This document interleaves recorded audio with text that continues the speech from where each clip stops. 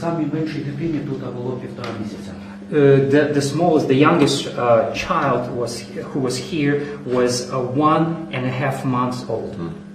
Світла в цій кімнаті If a person dies in the afternoon or in the evening, they, they wouldn't let the body out so that the body would stay with the Now, what happened here happened at the beginning of the Russian aggression.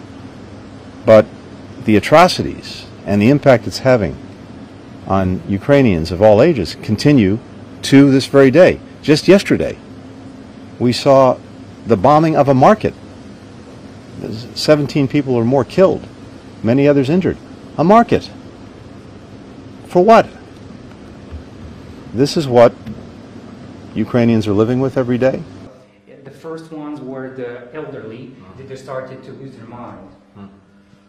Only the elderly who couldn't stand uh, took the they, they could lay down mm. and just to take a horizontal position. Only elderly who